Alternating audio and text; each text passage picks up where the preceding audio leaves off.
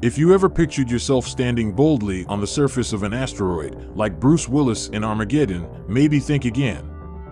Asteroids have very little gravity for a start, and if you picked one like Bennu, you'd sink just like in a ball pit.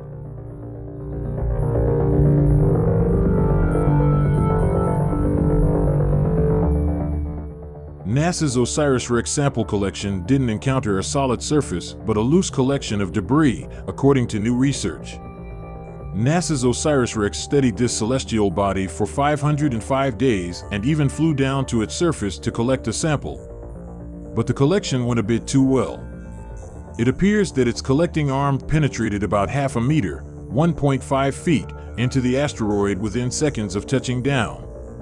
It turns out that the particles making up Bennu's exterior are so loosely packed and lightly bound to each other that they act more like a fluid than a solid, mission scientists said in a statement.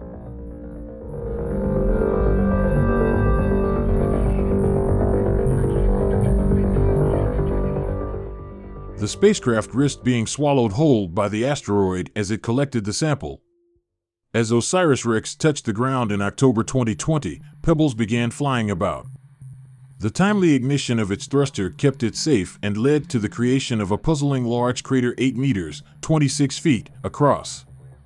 By the time mission scientists fired sampler spacecraft's thrusters to leave the surface that was still plunging into the asteroid, Images taken during and after the sample collection descent, together with hundreds of simulations, revealed that Bennu is a lot less solid than previously expected.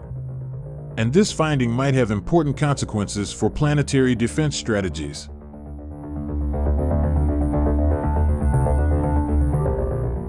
Bennu is a near-Earth object that might impact Earth next century.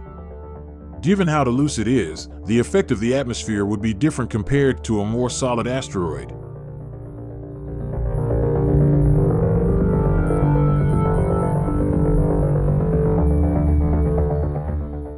OSIRIS-REx will deliver its precious sample to Earth next September and will then continue towards another dangerous object, asteroid Apophis, which it will reach in 2029.